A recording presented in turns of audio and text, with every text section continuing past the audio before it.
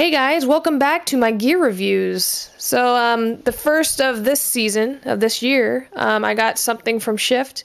It's their new women's curve street shoe, and I'm gonna have to say that this is pretty awesome. These are pretty cool shoes for females, I would say. They do have men's shoes, so don't worry about you guys because they've been out there for a while. It's just that the, they this will be their first year with uh, these new street shoes, and they're pretty wicked awesome. They look like they're basketball shoes. Um, I would say they're a little bit, hmm, well, I don't know. I can't remember. I, I think I compared it to my basketball shoes, and they're a little bit, let me, um, they're a little bit shorter, I would say. Mm, no, I think they're about even. Anywho, um, they come in black or white. This is the black version, of course. They have a harder outsole, so they're very durable. They I have a feeling that they'll last me for quite a while. They have a reinforced plate inside of this so that when you stand on the foot peg and um, it won't, you know, bend the shoe any which way. So unlike basketball shoes, which are very soft, not so durable, these will hold up, I would say, in a crash.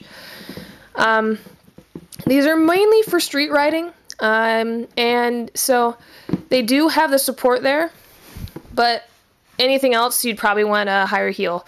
These are definitely shoes where you could take uh, walking with you um, at, say, like a grocery store, or if you went to the beach, just take them out. These are so comfortable, by the way. I've worn them twice already on the bike, and um, I can still feel the gears as I go up, and they're pretty rock solid.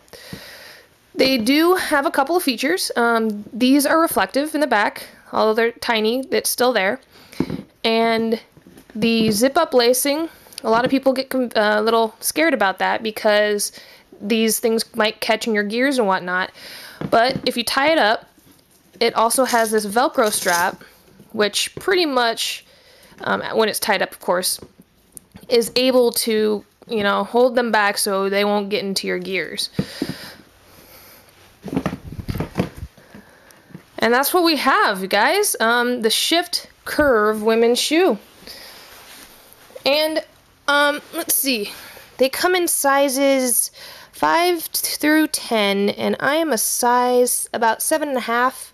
Um, these are a size 8, and they do fit a little bit big, but I'm glad about that because uh, my feet tend to expand when they walk, and then um, when I'm on the bike, they kind of get tinier, but that's fine. As long as I'm comfortable walking, eh, these shoes are great. So guys, I wanted to update you on a little thing um, I might be doing this uh, season.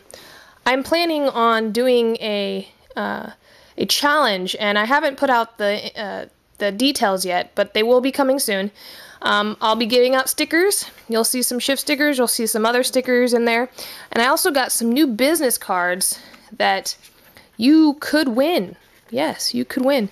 Here's one of my new business cards. It's, it just has my bike on it, and then it says Ashfoot, female, motorcycle, vlogger, you know, all my info. And this one just has me on it, and it's the same thing on the back. So, I will give you guys more info on that later, but that was just a sneak peek of what I'll be doing.